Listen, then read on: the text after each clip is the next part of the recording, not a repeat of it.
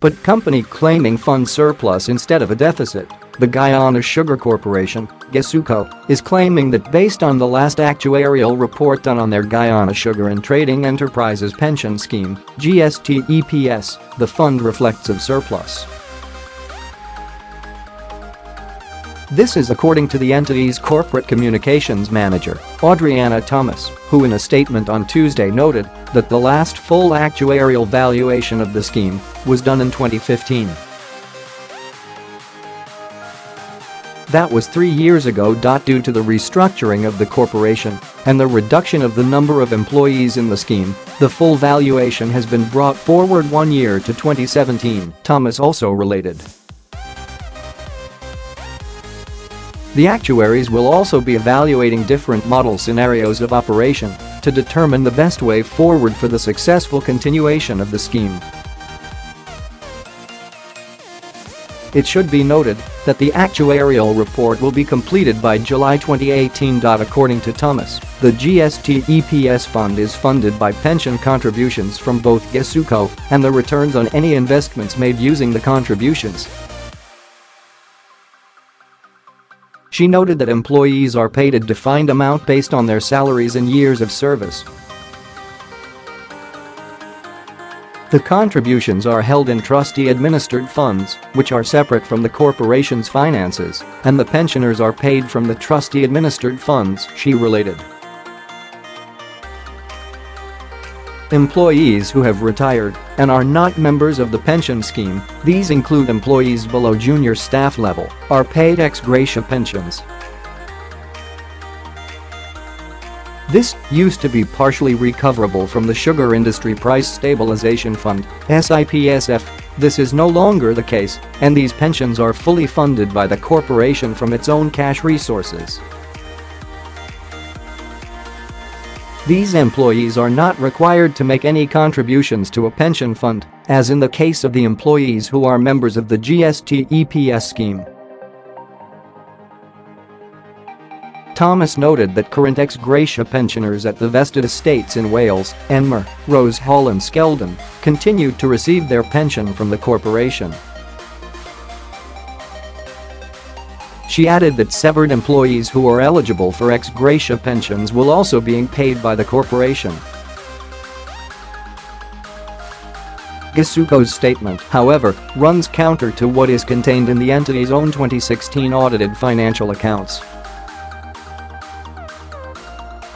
According to that financial statement, there is a defined benefit obligation of $44 billion, contrasted with a value of assets of only $11.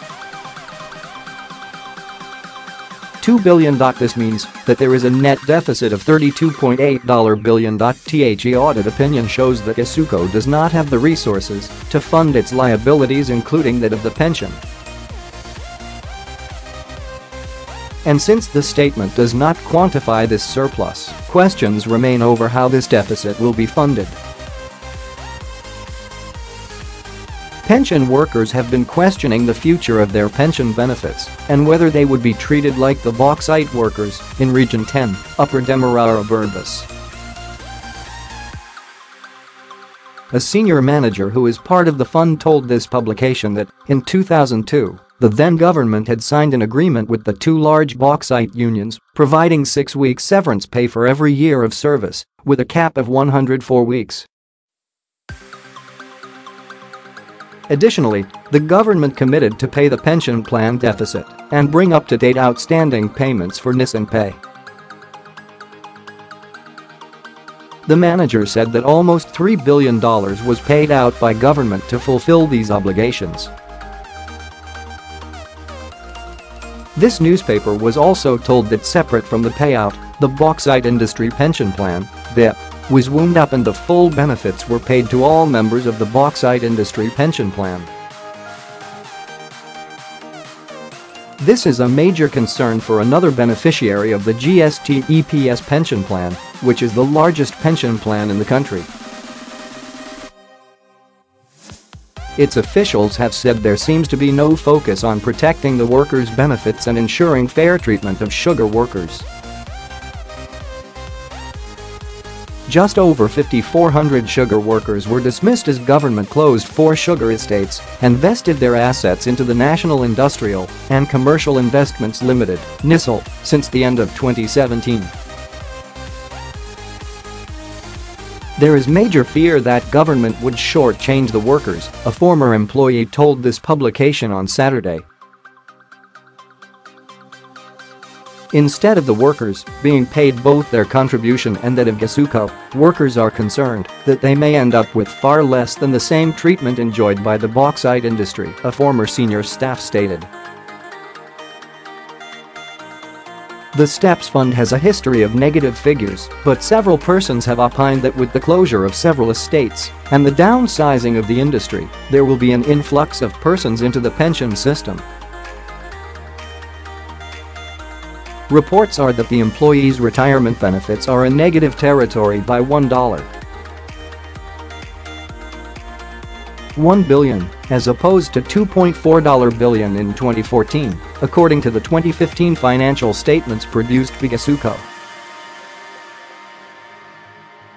And according to well-placed sources, the state of the fund has not improved. A former employee of the corporation had told this newspaper that Demerara Distillers Limited, DDL, pulling out from the fund has added pressure to the fund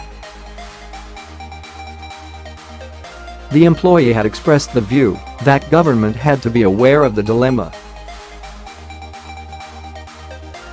He said this on the basis that there was no likelihood that foreign investors would have joined the fund as the Financial Act currently prohibits certain levels of offshore investment